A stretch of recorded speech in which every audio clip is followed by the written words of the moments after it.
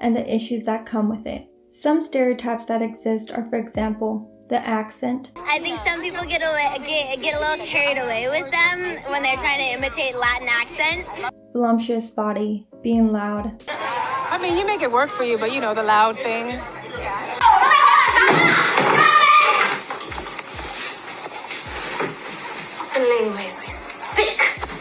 Having certain type of clothing style, having a certain type of makeup. But we're also gonna be Latinas.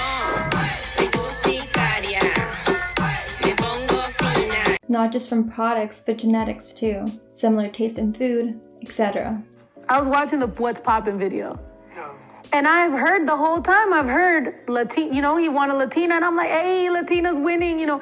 And then I watched the video, and the Latinas turn into maids making his bed. And I was like, damn, bro, that was the one moment I was like, yo, there's a new rapper, and he's talking about Latinas, we lit. And then now they're the maids making the bed. And I'm like, I am tired of seeing Latino influencer, TikTok creators who love to label us as hot Cheeto girls. It's pretty much a slap in the face for the Latinos who are actually doing something about these problems and all you're doing is eating hot Cheetos and creating these stereotypes. Yeah, we like our hot Cheetos, but we're not toxica and problematic. The only problem we're fighting is for our people. But the question is, what is actually a Latina? If we just look at the dictionary definition, being a Latina is just a woman or girl who is a native or inhabitant of Latin America, or a woman or girl of Latin American origin living in the US. It is also a term that is considered to be demonym is that it varies in its definition, it varies in use. That already, in essence, shows signs of diversity within just the general definition of being Latina. The experiences of a Latina living in the US or another country that isn't in Latin America is going to be different than those who live in Latin America. There is also a difference in culture, race, and even language. While there is always truth to stereotypes, there also needs to be an understanding that it is not the whole truth. I also would like to note that falling within these stereotypes is not a negative thing, it's just that generalizations are off putting. There needs to be an understanding that putting people in boxes is never going to sit well with the mass majority, since it isn't factual for everyone in the group. This is the reason why many people got upset with the video How to Be Latina by Nikita Dragun featuring Jen underscore NY69. Oh my Latina. Also, I would like to note that I'm not criticizing them, I'm just explaining why they got backlash and how they could have gone about it instead. I do get like a Latina vibe from you. Like Latina. Because I feel like I'm like a little Asian girl, but with like an attitude. And mostly, yeah. The Latina-ness just knows. Mm. Oh, I know what's missing. Because real Latinas don't let their makeup smudge. You know, a little Latina and risque. Where they went wrong is by treating being Latina as a personality rather than what it is. Underneath the video, there are many people who point this out. Saying that you're acting Latina is like saying that you act black, white, how can you act a race? While being Latina is not a race, it is a term that has grouped a bunch of cultures due to colonization. Just how you can't act black or white, you can't act Latina. Streetwear, makeup, clothing are just products of the culture, but not the sole factor when determining being Latina. Us perpetuating our own stereotypes of our own community is actually very harmful. A way they could have gone about it differently is by embracing the culture Ways to embrace your culture include basically learning more about your culture, learning the history, learning about the issues, basically learning about the good and bad about your culture. These stereotypes impose colorism. In most cases, when people think of Latinas, they think of someone who has brown skin. In most cases, they think of a Latina who just comes from a certain country. Depending on, you know, where you live, those stereotypes may vary. Lele is the queen of Latin stereotypes. Not only does she perpetuate the Latin stereotypes, but she also uses being Latina as an excuse. How does continuing these stereotypes cause negative consequences? And the first one that I would say is the portrayal of Latinas in movies. West Side Story is a love story between Maria, a Puerto Riqueña, and Tony. It is basically a Romeo and Juliet type of story. You have two gangs, the Jets and the Sharks. They hate each other yet Maria and Tony are basically Juliet and Romeo. But the thing that I want to point out is that most of the cast is white, and the only cast member who is Latina is the character of Anita, which is played by Rita Moreno.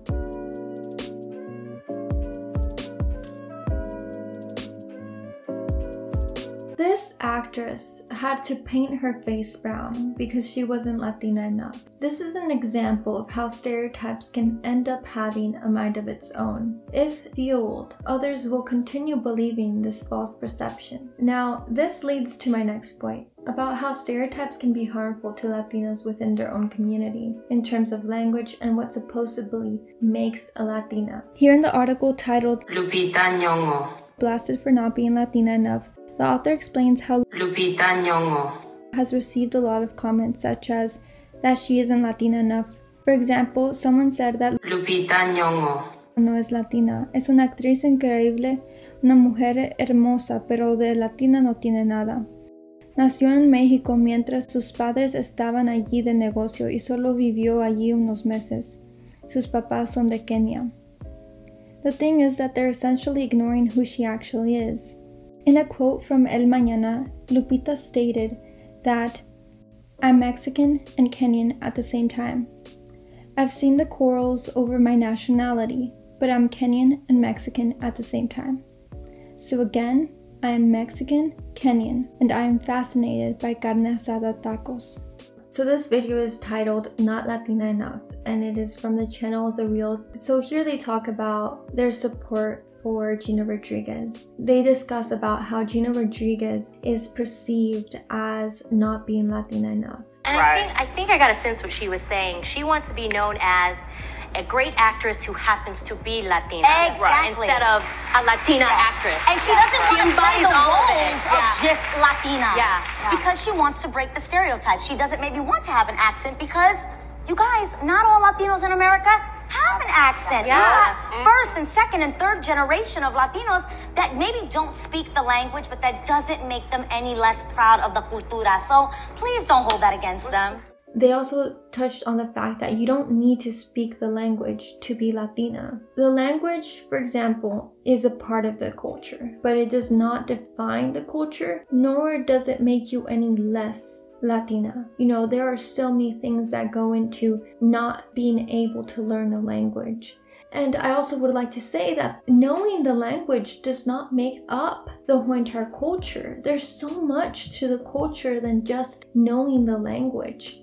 People have told me that I'm not a real Latina because I don't like Mexican banda music or I don't listen to it or because I didn't celebrate my quinceañera or because I'm not religious, which is pretty crazy. Like, I didn't know that you have to do that. You have to do that in order to be a real Latina. Like, okay. If you think about it and we go back to what the actual definition of being a Latina is, in no way, shape, or form does it include how a Latina should be being Latina is such a diverse thing, and like I said earlier, it encompasses so many countries, so many languages, so many people. And there is no way that in a group so diverse that they're going to all have the same opinions, the same personal experiences. There needs to be an understanding between the difference between terms such as black, Asian, white, Latino, and cultures they produce.